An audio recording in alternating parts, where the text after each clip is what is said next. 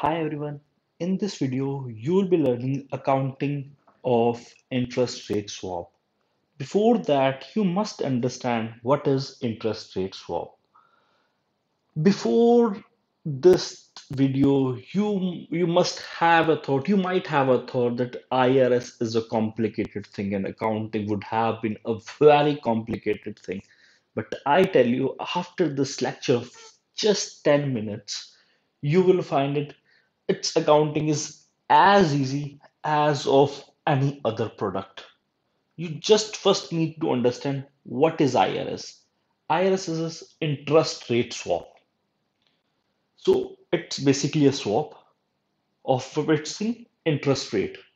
So how do you uh, uh, enter into an agreement? Like you enter into an agreement on a certain date on like let's say every quarter you will pay a certain thing and receive a certain thing. That's it. What you will pay if you are paying uh, swapping fixed rate with variable rate.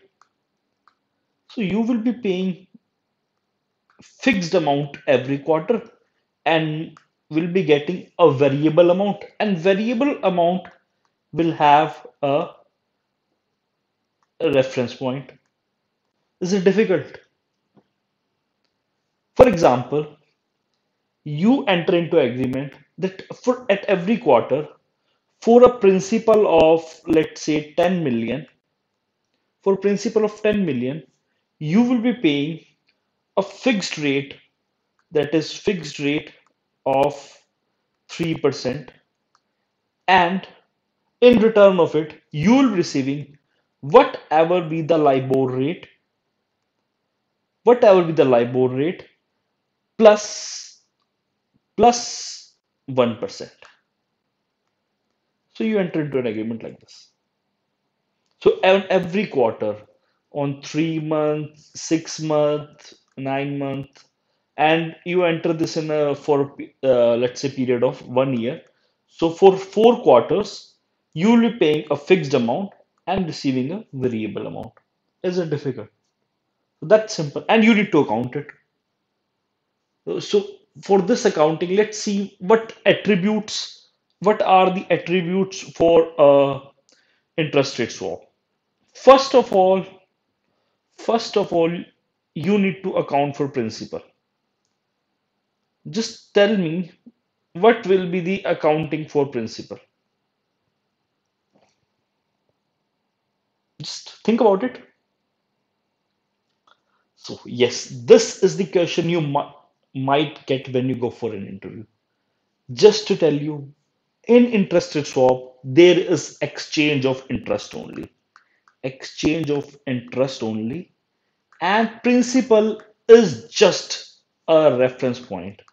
Principal is used for used for calculation only. To calculate the interest that you're going to exchange, principal is just a reference point. So there is no accounting entry for principal.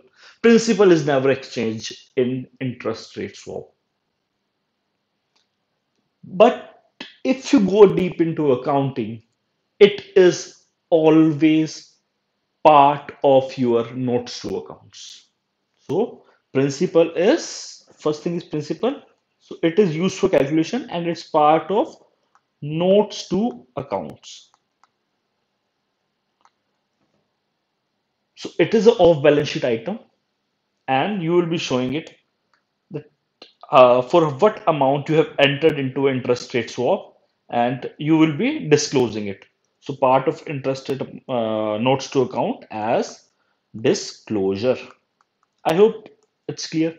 So principal will not be accounted. There will no entry for principal. So I hope this is clear. Second is interest.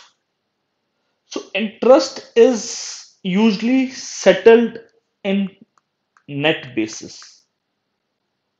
Like you will be paying 100 and receiving uh, you will be receiving 100 and paying 80 so you'll pass an accounting entry for 20 only so the accounting entry is for 20 only and if you're paying 100 and receiving 80 then also 20 and the entry will be uh, either nostro account debited or it will be credited to PNL. So entry is for net PNL, net profit and loss account. Okay, the net profit you earned on this transaction. And third is fair value. So what accounting entry will do for fair value? So in bonds or in trading securities or stock, you already learned like whatever be the fair value, you will be showing it as we do an accounting on reverse and refresh basis. Let's see an example. So this is all the accounting for interest rate swap. I believe everything is clear. Now let's go to an example. It will be crystal clear. So uh, you are in Western Bank and it entered into an interest rate swap on 10th January to pay fixed and receive variable as per below terms. So the principal is 10 million. So what is the accounting entry principal? Just the me. No accounting entry. No, no, no. Okay, what is the accounting entry to enter into a contract? This is the another question when you go for interview. What is the accounting entry when you enter into contract? There will be no accounting entry to enter into contract. If there is anything happening, if there is any asset being generated, so accounting is done only for the financial transaction. So what is the contract? What it's being generated? So as you enter into contract, if nothing is happening, if let's say nothing is happening, so there will be no accounting entry. I hope it's clear. Okay. And you, what are the terms of the contract? You will pay 3% every quarter. That is, payment is quarterly. And what will you receive? LIBOR plus 1. Nowadays, LIBOR is, they are replacing with IBOR because of some irregularities with the LIBOR rate. Now they are moving to an uh, IBOR rate. Okay. So you will be receiving LIBOR plus 1%. We can make a separate video on what is LIBOR and IBOR. Let's focus on the accounting of IRS. So you will be getting LIBOR plus 1% and uh, paying 3%. And payment as quarterly and calculations are done on quarterly. And here it's also important. Day count is always mentioned in the contract because it, it is a matter of dispute. For every three months, what is three months? How can you calculate three months? So this then they say for 30 days we will consider every month for a 30 days and years will be considered as a year of 360 days. For every month you will be uh, considering 30 for every month you will be considering a month of 30 by 360. I hope it's clear. So a month is of 30 days only and year will be considered as a year of uh, uh, year of like if it had not been there so for a feb month you will be considering uh, when calculating the interest 28 by 365 it can be also there but it has to be there in the contract but usually it is always what we have seen is like 30 by 360 is a usual practice. Okay? I hope it's clear. And maturity is one year. Let's see the accounting. So on 10th, when you enter into contract, you just got lucky or you have some information, I don't know. The uh, swap yield curve moved in our favor and the value of IRS has increased to 10,000. So the contract you have entered, now its value at 10,000. You have not paid anything, but its value is now 10,000. What is the accounting entry? So it's your derivative asset. You will you have an asset derivative asset. You call it derivative asset account debit to unrealized PNL. So you have a profit, unrealized profit of 10,000. So derivative asset account debit to unrealized PNL. So in your balance sheet, you will show an asset of derivative asset for 10,000 if you prepare a balance sheet for 10th of January. I hope it's clear. Now, on the next day, on the next day, some news has flown or something. Swap yields moved in our favor, and the price of IRS increased to 15,000. So, what accounting entry will pass? So, I told you in the last lecture, we do in investment bank, the entries are on reverse and refresh basis. So, whatever asset you have shown, you first reverse it. So, you have shown in balance sheet that you have a set of 10,000. So, you will reverse it, credit asset, and you have shown a profit of 10,000. You will show a loss of 10,000. So, you have reversed it. And now for 11,000, you will not show additional profit of 5,000 you have made.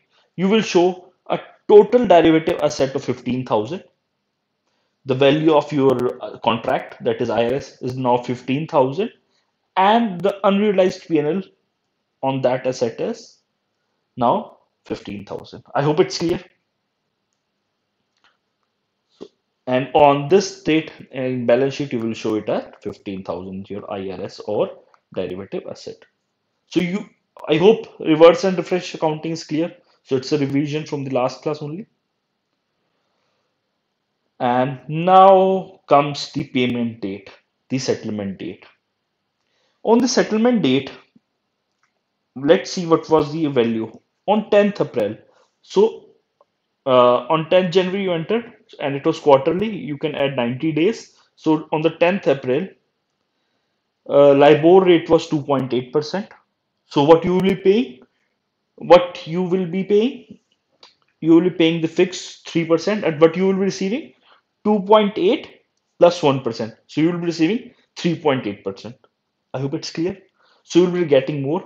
Okay, so it means your IRS, it's still an asset and not liability. Had this LIBOR and everything been in uh, not in your favor, so it must have been shown at a derivative liability. Okay, so it will just be entry will be just other way around. Okay, so on 10th April, uh, LIBOR is 2.8% and uh, and IRS on the prior date was 25,000 and on the next day on 10th April it reduced to 1,000 okay? I hope it's clear. So on from 25,000 to 1,000 okay? So as we do reverse and refresh accounting on 10th April you will reverse your, the asset you were showing of 25,000 so you will credit the asset and debit the uh, unrealized P&L account and show it as losses. So what you will do, you will uh, credit asset, so debit unrealized P&L account debit to derivative asset. So you will reverse the asset and record the asset as per the new value and the new value is 1000 derivative asset account debit to uh, unrealized P&L account. I hope it's clear. So that, that is simple. Now you need to do the settlement. So it's 10 million. You will be paying 3%, that is 3 by 100, and for three months, so one month is of 30 days, and for three months, you will be paying, uh, if you calculate, it comes out to be 75,000. I hope it's clear. And what you will be getting, you'll be getting 3.8% and it comes out to be you can calculate 95k so you have you made a 20k profit out of this contract for the very first quarter. So you will how you will do accounting? Nostro account debit to realized payroll. You know what is nostro? I told you in last class bank's bank account is nostro account. So all the payments are receipts are through nostro account. So it's the bank's bank account okay? So nostro account debit okay it's not uh 15 it's it's 20000 and 20000 okay? I hope it's clear. And just just to infer something so it usually happens so whatever be the npv or the net present value of the asset just before the settlement just before it being matured uh, like it was 25,000 now it reduced to 1,000 because you're getting the the, the value of 20k uh, the the value was more because uh, it has an uh, profit of uh, uh, the, the the realized cash that you would be getting on the maturity or the payment date okay. So on this balance sheet date you will show 100 and in uh, sorry uh, 1k and nostro you will increase by 20k okay. Uh, uh, that's the 10th april sorry. 10th That's balance sheet as on 10th april. So i hope accounting of irs is clear and you must be wondering how it looks so simple. So thank you because you are very intelligent. Thank you so much